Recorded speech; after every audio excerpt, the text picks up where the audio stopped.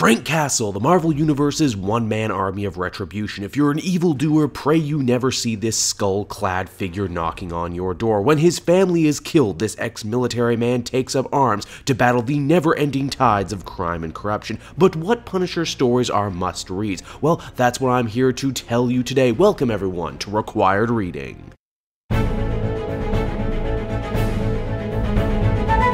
Now, as with any comic character, a great place to start when wanting to learn more about them is to track down their very first appearance, and for the Punisher, that was Amazing Spider-Man number 129 from February 1974. What's interesting about this story is that the Punisher is actually presented as something of a villain. Frank gets manipulated by longtime Spider-Man foe and clone enthusiast the Jackal into trying to kill Spider-Man because he believes he's actually a bad guy. Here's the thing though, as the story progressed, writer Gerry Conway began to enjoy the character, and as such, the Punisher saw the light and eventually turned on the Jackal for lying to him. This is one classic tale that would set the groundwork for many more cameo appearances and eventually a solo series of his own. Now, the Punisher's first solo miniseries would come in 1986's Circle of Blood from writer Steven Grant. This book managed to do a lot for the anti-hero in just a few short issues. For one, Grant went out of his way to try and make the Punisher a more three-dimensional character and less of a one-note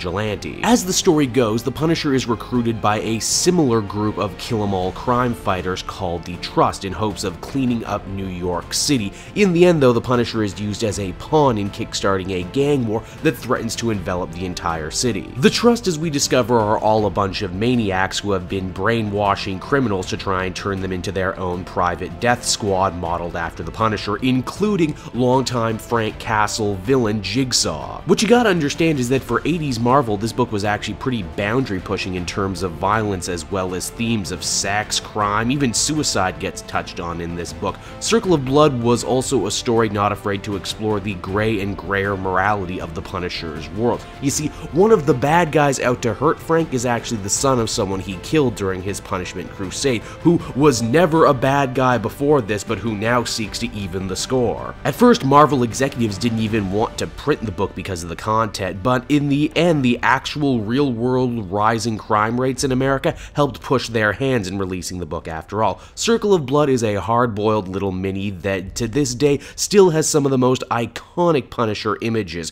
proof positive that, you know, a more violent hero could actually be a hit at Marvel. Next up on required reading, we have The Creep and the Bully, a two part crossover that spawns Punisher Volume 2 number 10 and Daredevil number 257. It's no secret Frank Castle and Matt Murdock have had a long and storied history in the comics, and honestly, there was about several tales that I could have picked to highlight here, but in the end, I wanted to offer up a two-part crossover that most people seem to forget about, and that is The Creep and the Bully. This 1988 story really let you get inside the head of our two heroes and see what they think of each other, a creep and a bully, thus the title. This story also gets points for drawing inspiration from the headlines of the day. You see, both the Punisher and Daredevil are on the trail of a man who's been killing people by tampering with aspirin bottles, slipping poison into them. Daredevil believes this guy with the bad haircut, evil though he may be, should face the justice system, while the Punisher believes that the only justice for this guy will come at the end of a gun barrel. The story does a great job showcasing how strongly both our heroes hold their beliefs, and how while the Punisher might share the Marvel Universe with more colorful superheroes, his violent methods will always make him something of an outsider looking in. Now before we move on to our next entry here on Required Reading, I think it's important to get one thing straight, and that is that the latter part of the 90s was a hard time for the Punisher. Too many bad stories in a row culminated in a laughable new status quo,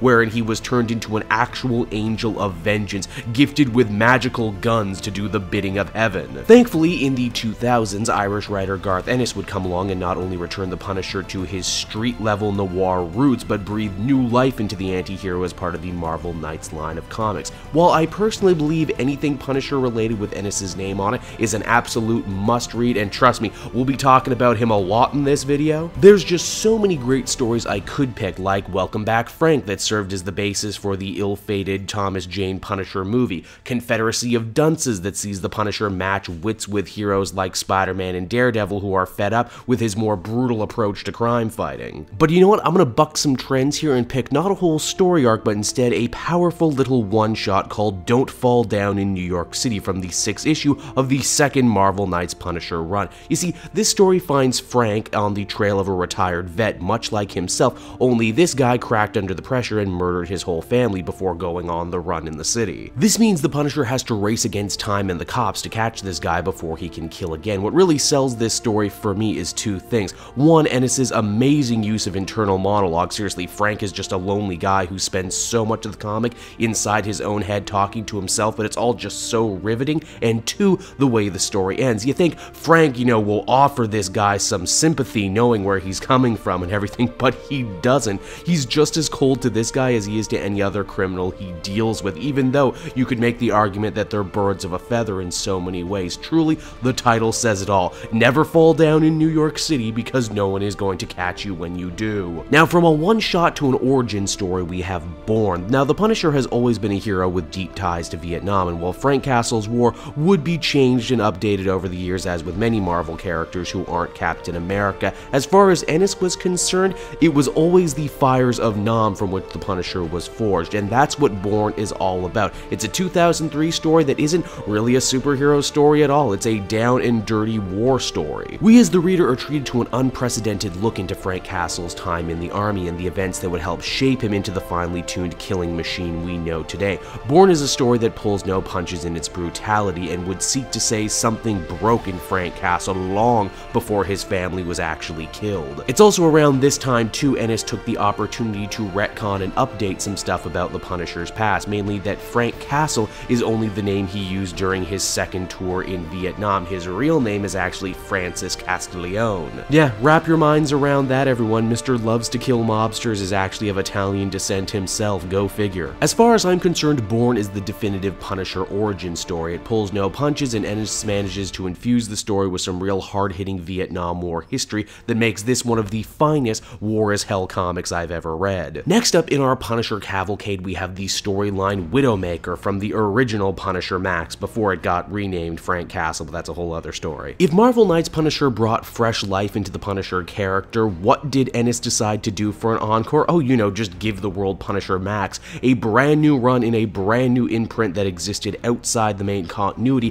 which meant stories could be even darker, more violent, feature more sinister crimes, and no spandex clad heroes, as well as a much older, meaner Frank Castle. Once again, I consider all of Max to be a must read, but if you really twisted my arm and made me pick one story that I thought exemplified just how great this series was, that would have to be Widowmaker. The book starts with the Punisher busting up a child pornography ring, and believe it or not, things only get more horrifying from there. In fact, some of Frank's all-time best cynical lines ever come from this story. You remember that great bit in the Punisher Warzone movie where Frank says, sometimes I just want to get my hands on God? Yeah, that's from this story. In fact, a lot of Warzone is actually from this story. You see, in the book, a bunch of the wives of the dead mobsters that the Punisher had killed during his adventures have all come together to try and kill him once and for all. The story really shines a light on the nature of revenge and lets us see it from a bunch of different angles. The widows are all different levels of evil, yet you strangely come to sympathize with them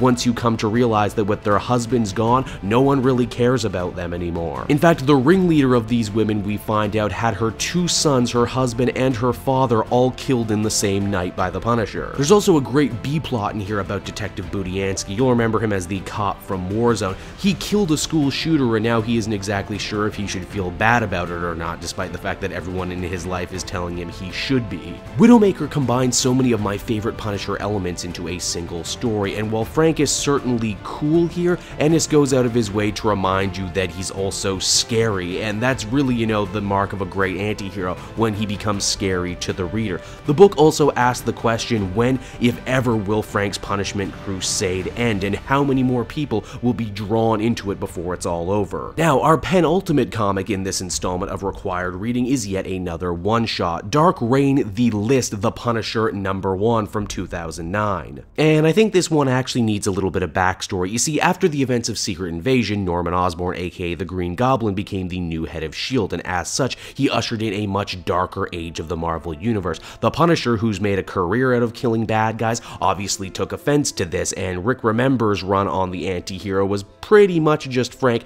trying to kill Osborn and all the people who worked for him. All of this comes to a head in the pages of the list one-shot, wherein the chickens come home to roost and the former Green Goblin hits the Punisher with everything he has, and more. This story is essentially the death of the Punisher, and he goes out like a frickin' boss. John Romita Jr. is no stranger to drawing violent beatdowns, and he gives the Punisher one a hell of a final stand with all the sweat and blood that it would require. He may just be a normal man, but he refuses to lay down, even when he's going up against foes like Daken, the evil son of Wolverine, who dwarfs him in terms of raw power. Frank just wouldn't stay dead for long, however, because hey, this is comic books and who stays dead, am I right? He was later reborn as Franken Castle, but you know what, that's a story for another video. All you need to know about this one is, is that the Punisher dies the way he lived, like a badass. And our final comic we're talking about here on Required Reading is the Punisher Max Bullseye by Jason Aaron. So I think we've established that Garth Ennis's Punisher Max was a truly landmark series, but it never really had a proper conclusion. It just kinda sorta petered out.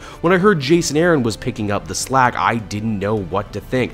Little could I have known that his time with the series would have been, you know, just as good, building on what came before and plotting a new course for the book. You'll remember I mentioned before how in Garth Ennis's Max universe it was outside continuity, so the Punisher really didn't run into any other superheroes, while under Jason Aaron, the book saw the rise of the Max version of Wilson Fisk the Kingpin, and with that, Bullseye, an assassin hired to off the Punisher once and for all. Only, you see, this Bullseye was a lot different than any other version of the famous assassin we've seen in any Daredevil story. This guy sought to become the Punisher in order to kill him, and the story shows him going to extreme lengths to understand what makes the Punisher tick and what informs his brand of madness. He wears Frank's clothes, he sleeps at his family's grave, he kidnaps a family to try and recreate the Central Park shooting, all to try and get inside Frank's noggin. The big takeaway from Bullseye's research, and indeed this run as a whole, seems to be the idea that even if Frank's family didn't die, even if he didn't put on the skull, he would still probably be out there killing people in one way or another. It's super dark, but then again, most great Punisher stories are. Special note should also be given to Steve Dillon's artwork. Dillon is sadly no longer with us, but he had a great run on Punisher stories. The dude had a real uncanny eye for human ugliness, and he uses that to great effect here in the Bullseye story. He is absolutely disgusting on just about every level. And there you have it, everybody. Some of the very best Punisher stories to get you started reading the character. I feel like I talked forever and barely scratched the surface on this topic, so don't be shocked if I end up making a required reading Punisher Volume 2. Until then, I hope you enjoyed the video, and in the comments section down below, feel free to share with me your own favorite Punisher stories. Also, if there's a hero or team you would like to see featured on required reading, well, be sure to let me know that as well. Until next time, everybody. Hey everyone, thanks so much for watching my newest video. I hope you enjoyed it, and while you're here, why not check out another video I have on offer, or maybe if you're feeling in a supportive mood, you want to like or subscribe. And if you want to support the creation of more videos just like this one, then please by all means check out the Caped Joel Patreon. A little bit goes a very long way, and I will see you all next time.